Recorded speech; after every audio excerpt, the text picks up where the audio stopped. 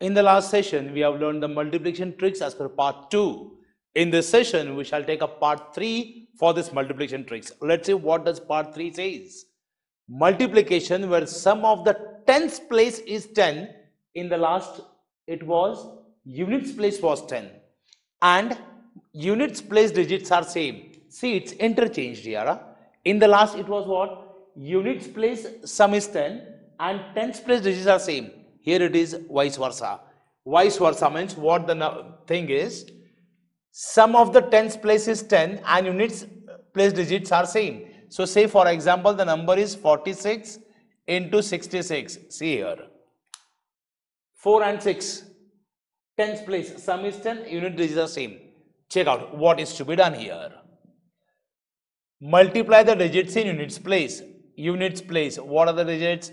6 into 6 what we get is 36 we'll write it to the right hand side 36 then multiply the digits in tens place. We'll multiply. That is 4 into 6 what we get is 24 and add the figure in units place. And what? Whatever is a figure in the units place we have to add.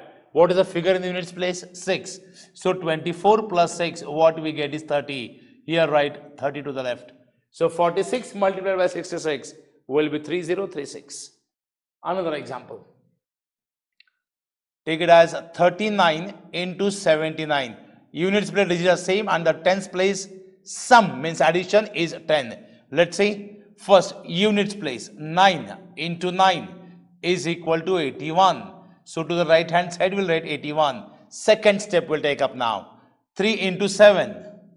3 into 7 what we get is 21 add the units place number. Units place is 9. So 21 plus 9, what we get is 30. Right here, 3081 will be the answer. Calci not required. Another example. 76 into 36. Okay. Units place 6 into 6 is 36. To the right hand side, we written 36. 7 into 3 is 21 and add the units place number that is 6. So what we get is 21 plus 6 is nothing but 27. Write as 2736. That's all. This is how the multiplications have to be done. I repeat once again. Sum of the tens place is 10 and the units place numbers are same. In that case, what is done?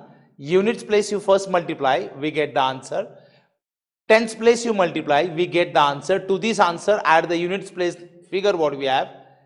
Addition, right to the left hand side, the entire thing is the answer of that. That's all. Very simple are these uh, tricks. Fine. So in this session, we have learned the third part of multiplication tricks. In the next session, we shall take up part 4 of this multiplication tricks. Thank you.